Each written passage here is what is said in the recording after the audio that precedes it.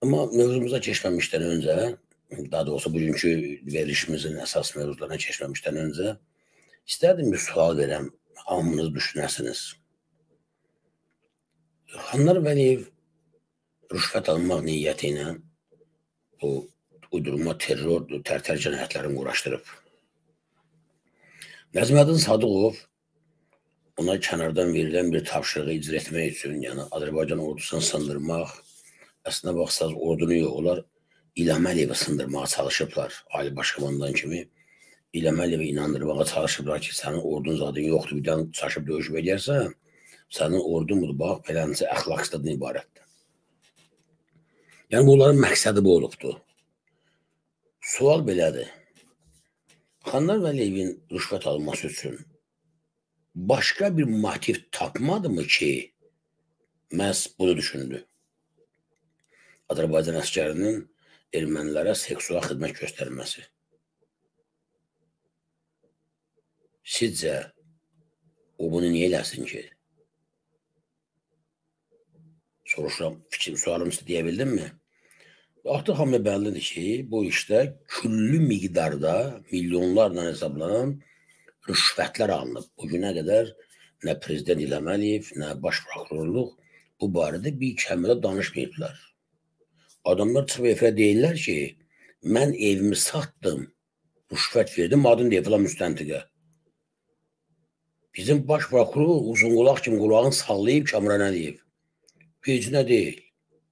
Dünyanın hansı ölkəsində belə bir informasiya deyilsə efirdən dərhal çağırıb həmin müstəntiqi həmin əvvəl vətəndaşı dindirəcəklər, deyən vətəndaşı yoxmura. Bu nədir verirsən, satmışam, evimi vermişəm, bu 50 min vermişəm, 100 vermişəm.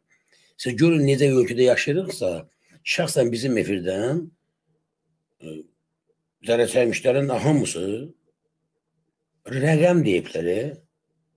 Rami Mustafayev vardı polkovnik, yazı gəlir, Ruslan qoşulurdu. İndi deyəsən Azərbaycanda da artıq e, xidmətə bərpa olub. 50 min deyib pul vermişəm. Kimə vermişəm, niyə vermişəm, deyir hamısını. Çağırıb soruşan yoxdur, gəl gəl görün bura. Yəni bu ölkədə artıq rüşvət almaq ayıb, cinayət cəhənnəmi ayıb cəzası ayrılmır. İndi sual başqadır. Yaxşı, rüşvətin cinayət sayılmadığı, normal bir hal kimi qəbul edildiyi bu məmləkətdə Xanlar Vəliyev rüşvət almaq üçün nədən məhz bu motivi fikirləşib tapıb ki, mən sübut eləməliyəm ki, Azərbaycan kişiləri ermənilərə türklər, tarışlar, ləzgilər, avarlar, kürdlər, Azərbaycan əhalisi erməniyə seksual xidmət göstərilmişlər. Niyə? Axı rüşvət almaq üçün başqa böhtanlar da ta bilərdi. Tiryək narkotik, nə bilim, tustaqlar arasında davadalaş, əmrə tab olmama. Hə? Elə birbaşa vətənə xəyanət götürərdi, nə bilim, safkarlıq bacarırlar da götürərdi istədiyi zabitin, əskərin telefonundan bir dənə erməni nömrəsindən, e, bunu eləyiblər, onu biləsiniz. Bir dənə mesaj göndərərdi. Məsələn, bu yəni kifayətlənərdilər. Niyə məhz vətənə xəyanət adı ilə aparılan işdə ən çox qabardılan və ortada tək sübut kimi olan seksual xidmətdir. Niyə? Onun niyyəsini istəyirəm hər biriniz bir Azərbaycan vətəndaşı kimi düşünəsiniz, qadınlı kişili ki, nədən, nədən bunu eləsinlər, niyə? Məqsəd pul qopartmaqsa, rüşvət yığmaqdırsa, yəni min dənə bəhanə var. Maşallah, maşallah, maşallah Azərbaycanda bunu eləmək çətin deyil ki, Azərbaycan polis, məhkəmə, prokurorluq, mənim hamısı istənilən, və istədikləri böhtan atıb rüşvət ala bilirlər. Niyə məhz seksual xidməti? Axı dünyanın gözü qabağında erməni əskərinin nə olduğunu gördü sanmız. Bütün dünya gördü bunu. 23 saata 24 saat deyək tamam olmuyor ha. 23 saat neçə dəqiqəyə təslim olan, təbədən dırnağa qədər silahlanmış özdə bunkerlərdə olan, səngərdə olan, yerin altında olan adamlar təslim olan bir ordu necə mənim övladımı zorlaya bilərdi? Olan kişilik ləyaqəti budur da. İkinci bir məsələ. Artıq Xankəndi bizdədir. Xankəndinin bütün arxivləri də bizdədir. Xanlar və bu günə qədər və Maiz Barxudarovun onun adamıdır da. Maiz Barxudarov güya iştirak edir bu döyüşlərdə, bu əməliyyatlarda. Bir dənə sübut əldə edə bildimi? Azərbaycan əskərinin xəyanət eləməsi ilə bağlı, seksual xidmət göstərməsi ilə bağlı. Və yaxud da o müstəntiqlər ki, Azərbaycan əskər və zabitlərinin erməniyə tank, gecə görmə cihazları, müxtəlif döyüş ləvazimatı satmalarını iddia eləyib, ittiham kimi irəyə sürüb, bizim övladlarımızı həbs eləmişdilər uzun müddətli e, azadda məhrum etmə cəzalarına məhkum eləmişdilər. O uğurlanan, satılan tanklardan, gecə görmə cihazlarından hər hansı birini tapdılarmı? Artıq Xankəndi bizdədir. Məsələn, mən dünənə də gözləyirdim ki, bəlkə birdən Xankəndində hansı sistemdə gizlədiblər.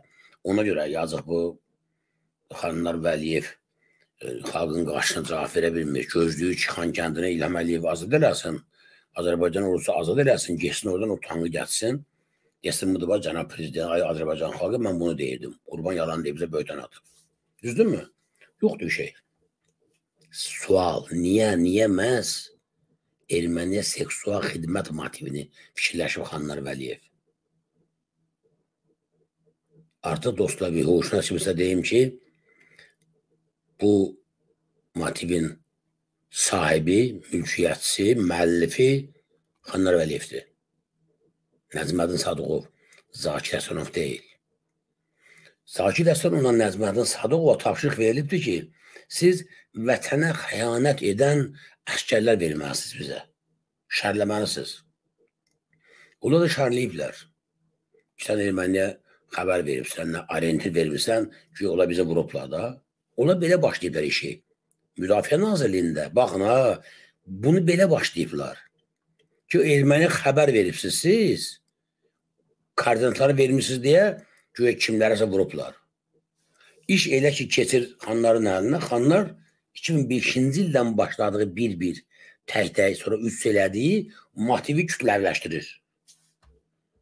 Hələ də İlham Əliyev soruşmur Xanlar Vəliyevdən ki, sən mənim bu anıma, mənim arvadım Mehriban Əliyevanın, qızım Arzunun, Leylanın, oğlum İlhamın və mənim bu millətimin alnına bu biqiriyyət, xoşkeyrət, namussuzluq damğası niyə vurubsan sən?